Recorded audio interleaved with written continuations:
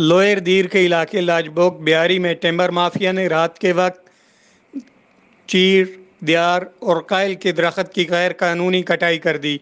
इन दरख्तों को चोरी छुपे काट कर मार्केट में फ़रोख्त कर दिया जाता है और इस तरह हुकूमती ख़जाने को नुकसान पहुँचा कर अपनी जेबें गर्म की जाती हैं।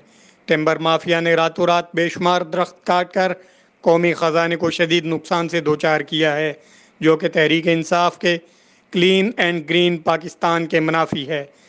इस सिलसिले में यहाँ से आला हुकाम भी नज़रें चुरा कर इन अफराद और माफिया की पर्दापोशी कर रहे हैं। इलाका मकीनों ने यह दरख्त अपनी मदद आपके तहत लगाए थे, जो टेम्बर माफिया की नज़र हो रहे हैं, जिस पर इलाका के रिहायशियों ने शदीद एहतजाज किया है। इस पर मज़ीद तफसीत बता रहे हैं, लोहरदीर से नौजवान सहाफ़ी सुहेल दानिश। जी सुहेल दानिश, आगाह कीजिएगा।